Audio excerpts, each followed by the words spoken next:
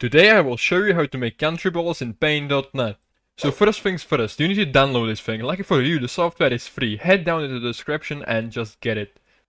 Now before we do anything, make sure to create a new layer so we don't draw on the background. Okay, so now, country balls are round, so we will select the circle tool, right? Wrong, wrong, wrong. I actually do use it in Paint.net due to my hand having Parkinson's level 100 it may via boss and wiggling all around the screen. If you are a French artist sipping wine and eating baguettes all day, you can do it by hand, but I'm just not gonna. For me, I'll break a few Polandball rules to hide the fact that I can't draw a goddamn thing.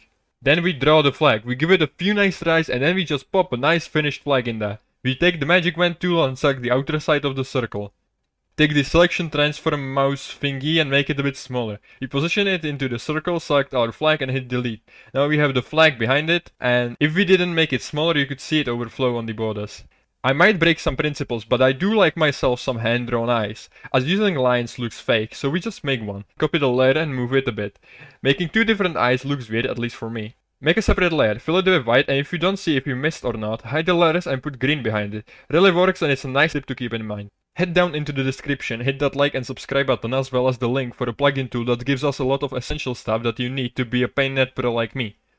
Amas told me that there is a virus in there, but I downloaded it and I'm still corona free, so I don't know what that virus was all about. Then we go to Effects, Object Bevel and get some nice bevel for it to look round. The artistic principles tell us to make one side bright and the other dark. I am telling you to make it both dark. It just looks better. Then we do another circle, switch to fill mode, select the transform thingy, move it, press delete on that bad boy and bam, we have a shadow. Now you can just pick the transform tool and rotate it however you please. I usually let it stay in one spot for all my balls and then it looks like one sun is pointing at them and they aren't going all over the place.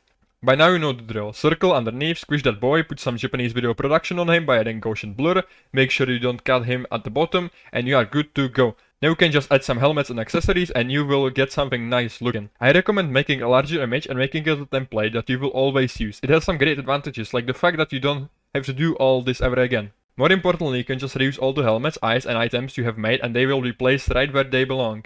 If you use a .pdn file, which is a paint.net file that stores layers, you can just drag the whole boy in there and you will get the whole project in its separate layers. Wow. The most important thing is though, always save people. It doesn't happen that often, but sometimes the application can crash by using all that big data or just the image you, you saved as PNG did not really render correctly.